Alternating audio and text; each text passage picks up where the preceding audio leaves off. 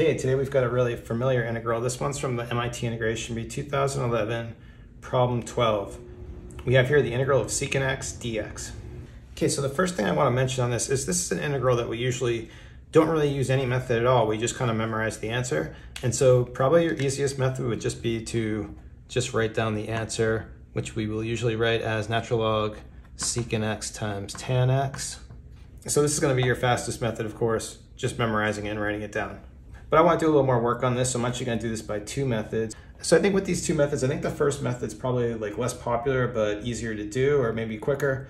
I don't know, I'll let you decide. But for the first method, we do this kind of non-intuitive method where what we do is we multiply this numerator and denominator by secant x times tan x.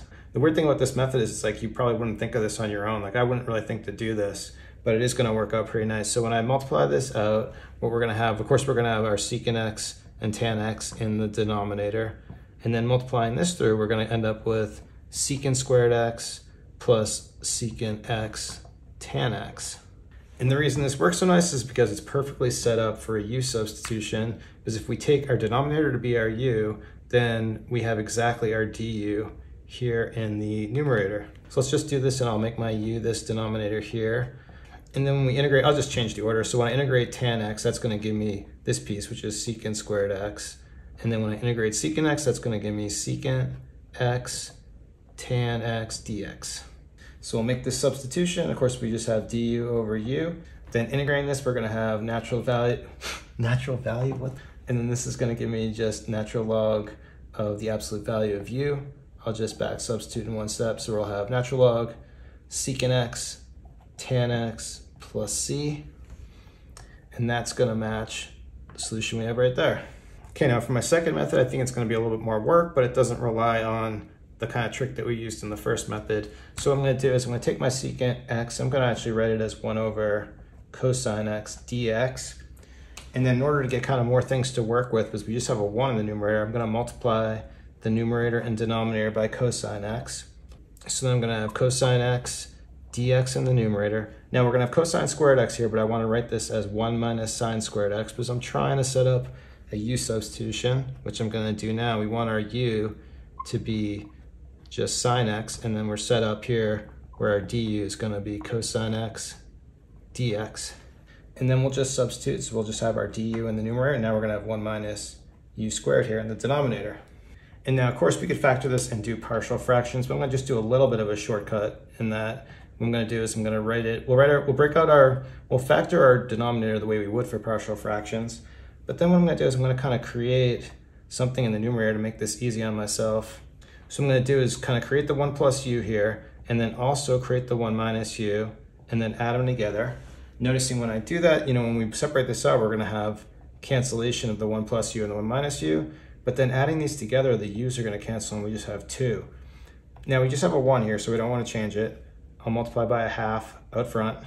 And now we'll go ahead and split this into two integrals. So in the first one, again, the one plus u's are gonna cancel. So I'm just gonna write this as du over one minus u.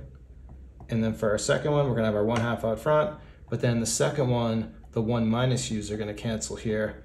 And I'm just gonna have du over one plus u. So when I integrate the first one, I'm gonna have a minus come up because we have a minus on the u here. So I'm gonna write this as minus one half natural log one minus u. And then this one is just plus, so this one's just gonna be a plus 1 half natural log 1 plus u. But then with the properties of natural logs, I can combine these. I'll factor 1 half out, and I'm gonna write it, we'll write, this has a minus, we'll write this in the denominator as 1 minus u, and this one's gonna be 1 plus u.